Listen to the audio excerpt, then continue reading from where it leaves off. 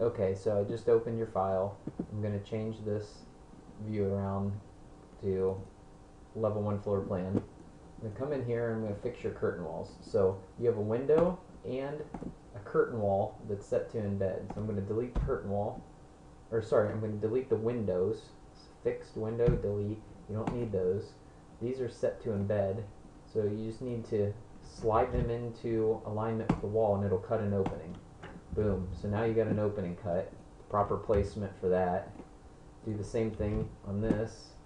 Align it. So now those are cutting. That's the automatically embed, so you don't need to put that fixed window frame.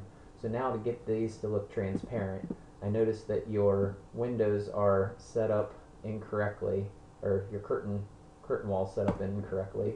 So I'm going to take a camera shot looking in and you can see through it because of the settings but I'm going to change this to realistic and that's where you're getting your gray.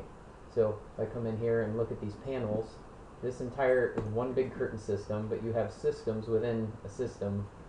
So if I pick that bigger box versus the actual panel itself so there's the highlight I want. It see that's an exterior glazing curtain wall panel within a panel so I'm going to pick the entire panel, the whole system, I'm going to edit this curtain wall system type so that the curtain panel is not the curtain wall itself, but it's just the glazed panel. So system panel glazed, only a piece of glass versus the whole system.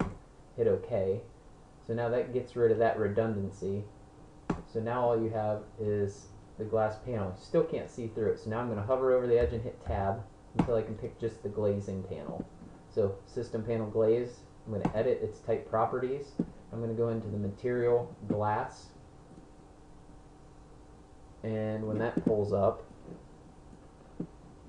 under its appearance setting, you have transparency here, which only does its shading view transparency. You go to appearance, down here underneath of these drop downs, you have another transparency box. So this one sets the material transparency. So now you can play with the transparency of the material.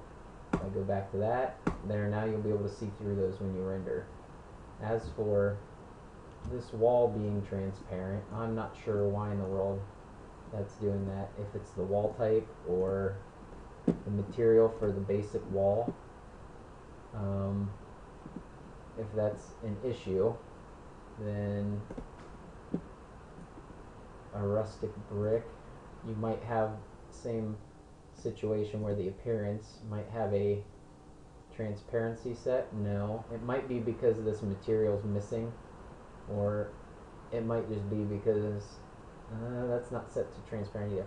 I'm not sure. I'm not going to dig into that unless you need it. But anyway, that's how you fix your curtain panels. Hope that helped.